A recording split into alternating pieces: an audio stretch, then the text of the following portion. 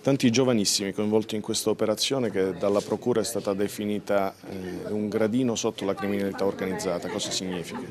Allora, noi in questo momento l'attività investigativa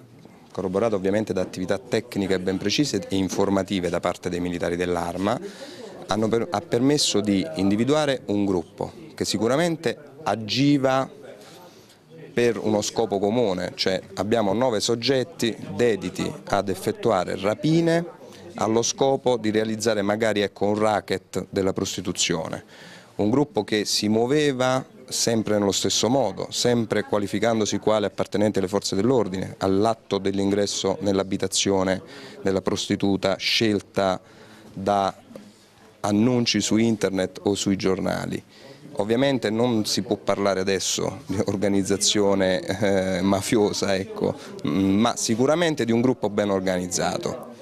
Indagini particolarmente delicate anche perché tra le persone offese sono soggetti che hanno naturalmente una certa diffidenza verso le forze dell'ordine. Sì, questo eh, devo dire che dal punto di vista investigativo è stata importantissima eh, la denuncia dei fatti che non sempre sicuramente è avvenuta perché in molti casi siamo stati noi a riscontrare il delitto eh, consumato e tentato. Uh, tuttavia devo dire che uh, è stato veramente fondamentale l'apporto e la fiducia in questo caso nei confronti della stazione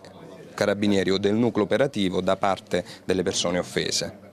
un modus operandi insolito, quantomeno nel circondario? Allora, loro agivano, eh, ripeto, tranne una rapina avvenuta a Catanzaro Lido, hanno agito nei comuni di Gasperina, San Sostene, Soverato, Montauro e Montepavone. E eh, in questi episodi, ricordiamo, sono cinque rapine consumate e due tentate.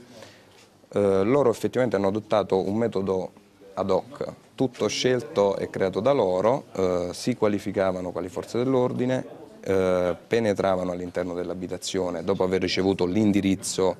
eh, da parte della stessa prostituta contattata telefonicamente dagli stessi, eh, reperendo il numero dagli annunci di giornale o da internet, una volta all'interno con la minaccia dell'arma da fuoco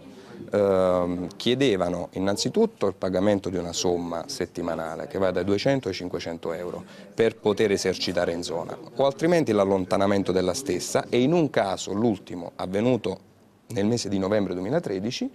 c'è stata anche una violenza sessuale alla donna che negava appunto eh, il pagamento.